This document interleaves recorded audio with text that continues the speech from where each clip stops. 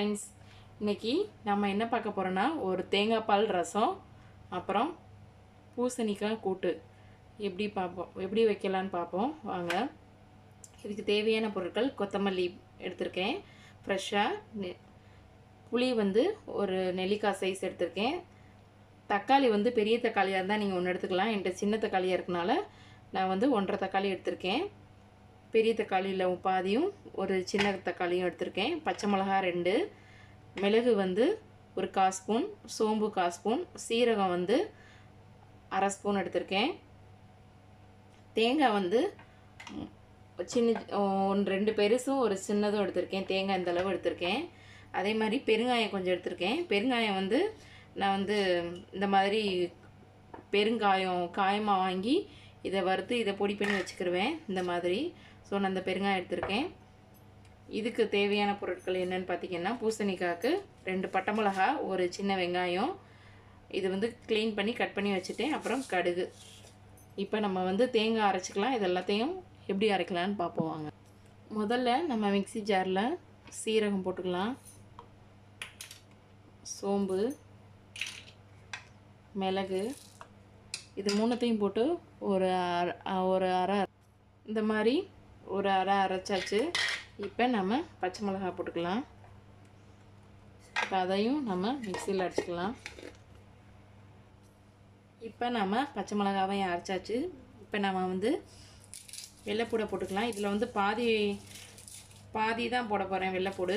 So தோலை நீக்காமல் நம்ம மேலே உள்ள தோலை மட்டும் இது பண்ணிவிட்டு நம்ம இதை அப்படியே போட்டுருவோம். பூண்டு இருந்தால் இவ்வளோ பூண்டு போட்டிருக்கேன். இதை வாஷ் பண்ணிவிட்டு நம்ம போட்டுக்கலாம். இப்போ வாஷ் பண்ணியாச்சு. நம்ம இதை போட்டு லைட்டாக ஒரு சுற்று சுற்றிக்கலாம் ரொம்பவே நைஸாக அரையக்கூடாது. இந்த வெள்ளைப்பூடு நல்லா நஞ்ச மாதிரி நம்ம இது பண்ணிக்கலாம். இப்போ இதை ஒரு பாத்திரத்தில் மாற்றிட்டு நம்ம இதில் இது தக்காளியை போட்டு அரைச்சிக்கலாம்.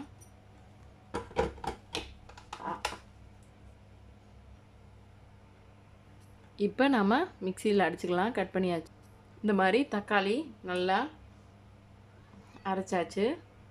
இப்போ நம்ம இதையும் பாத்திரத்தில் மாற்றிக்கலாம் நாம் தேங்காய் கட் பண்ணிட்டோம் தேங்காவையும் அரைச்சிக்கிறோம் தேங்காய் நல்லா அரைஞ்சிச்சு நாம் இதை பிழிஞ்சு பால் எடுத்துக்கலாம். கெட்டி பால் தான் எடுக்கணும்னு அவசியம் இல்லை. இது ஃபஸ்ட்டு பால் பிழிஞ்சிட்டு நாம் ரெண்டு தண்ணி லைட்டாக ஊற்றி நம்ம பிழிஞ்சு வச்சுக்கலாம். இப்போ நம்ம எல்லாம் ரெடி பண்ணியாச்சு. இப்போ புளி மசா இதை அரைச்சாச்சு தக்காளியும் இது பண்ணியாச்சு.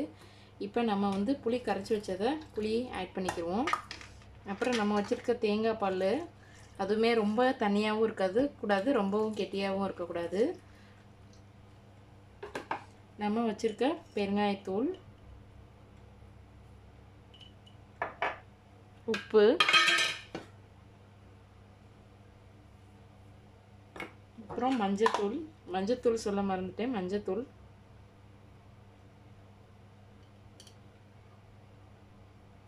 இப்போ நம்ம வந்து தாளிச்சிக்கலாம். நம்ம அடுப்பை ஆன் பண்ணிடுவோம்.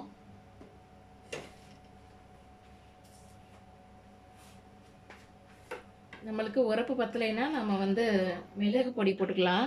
நம்ம பச்சை மிளகா வேறு ஆட் பண்ணியிருக்கோம். ஸோ நம்மளுக்கு வந்து உரப்பு தேவைப்பட்டுச்சுன்னா நம்ம வந்து நம்ம வந்து மிளகுத்தூள் ஆட் பண்ணிக்கலாம்.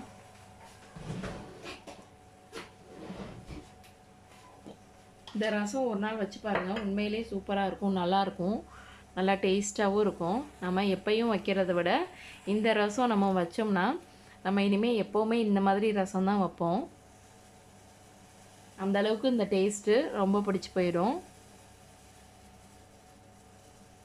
இந்த ரசம் வச்சு நம்ம சிக்கன் ஃப்ரை ஃபிஷ் ஃப்ரை அந்த மாதிரி வச்சு கூட நம்ம சாப்பிட்லாம். நல்லாயிருக்கும் நல்லா டேஸ்டியாக இருக்கும். இப்போ சூடாயிருச்சு சட்டி நாம் எண்ணெய் ஊற்றிக்கலாம்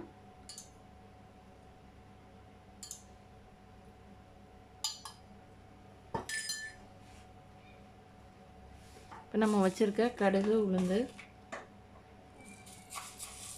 அதை போட்டுக்கலாம்.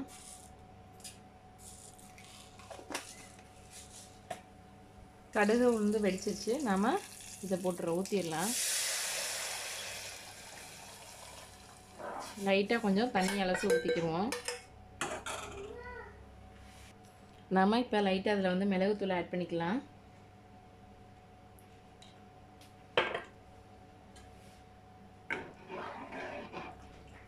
நம்ம இதை கொதிக்க விடக்கூடாது. லைட்டாக நுரக்குடி வரும்போது நம்ம வந்து ஆஃப் பண்ணிடணும். இப்போ நம்ம கொத்தமல்லியை போட்டுக்கலாம். இப்போ வந்து நம்ம கொத்தமல்லி போட்டுக்கிறோம்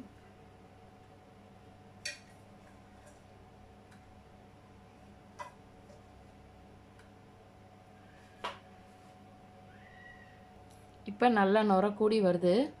நம்ம இந்த சமயத்தில் இதை வந்து நம்ம இறக்கி கீழே வச்சிடலாம்.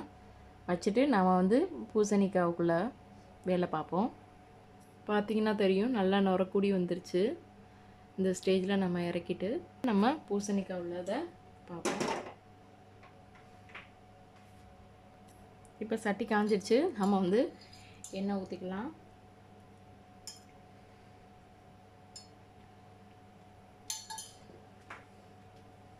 பட்டை மிளகாய் போட்டுக்கலாம்.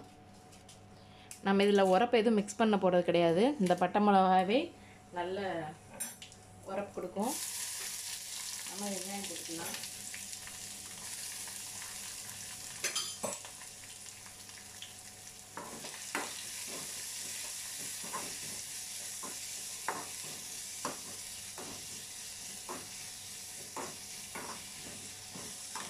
வெங்காயம் வதங்கட்டும்.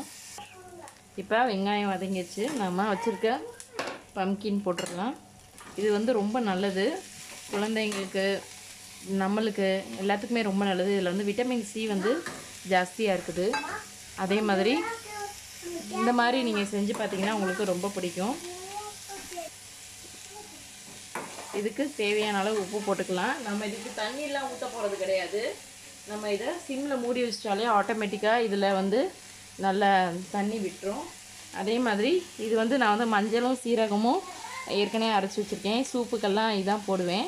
ஸோ இந்த மசாலாவையும் போட்டுட்டு நாம் நல்லா மிக்ஸ் பண்ணிவிட்டு இதை மூடி வச்சோம்னா அந்த சிம்லையே ஆட்டோமேட்டிக்காக வெந்துடும் அதே மாதிரி இது வந்து ஒரு நல்ல டேஸ்ட்டு கொடுக்கும் இந்த மசாலா. அவ்வளோ டேஸ்ட்டாக இருக்கும் நல்லாயிருக்கும் குழந்தைகளும் விரும்பி சாப்பிடுவாங்க. இந்த ஃப்ளேவர் பிடிச்சி போய். இப்போ நாம் நல்லா சிம்மில் வச்சுக்கிறோம் வச்சுட்டு ஒரு மூடி போட்டு நாம் மூடி வச்சுக்கிறோம் இது நல்லா ஒரு பத்து நிமிஷம் சிம்லேயே இருக்கட்டும்.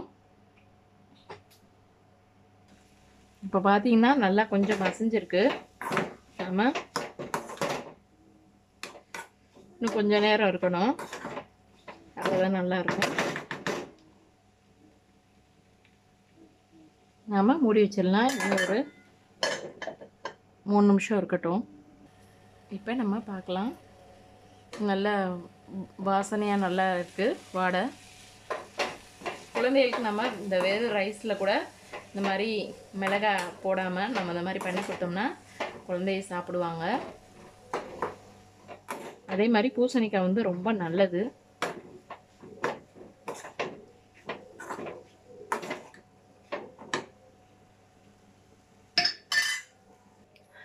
நம்ம இந்த மிளகாத்தூள் ஆட் பண்ணலை. ஆனால் நம்ம பட்டை மிளகாய் போட்டிருக்கிறதுனால அதுவே நல்ல கொஞ்சம் ஸ்பைசியாக நல்லா இருக்குது. இந்த மாதிரி இப்போ அடுப்பை ஆஃப் பண்ணிக்கலாம். ஒரு சுவையான லன்ச் மென் தயாராகிடுச்சு தேங்காய் பால் ரசம் பம்கின் கூட்டு ரைஸு இந்த வீடியோ உங்களுக்கு பிடிச்சிருந்தா லைக் பண்ணுங்கள் ஷேர் பண்ணுங்கள் கமெண்ட் பண்ணுங்கள் பெல் பட்டனை கிளிக் பண்ணுங்கள் தேங்க்யூ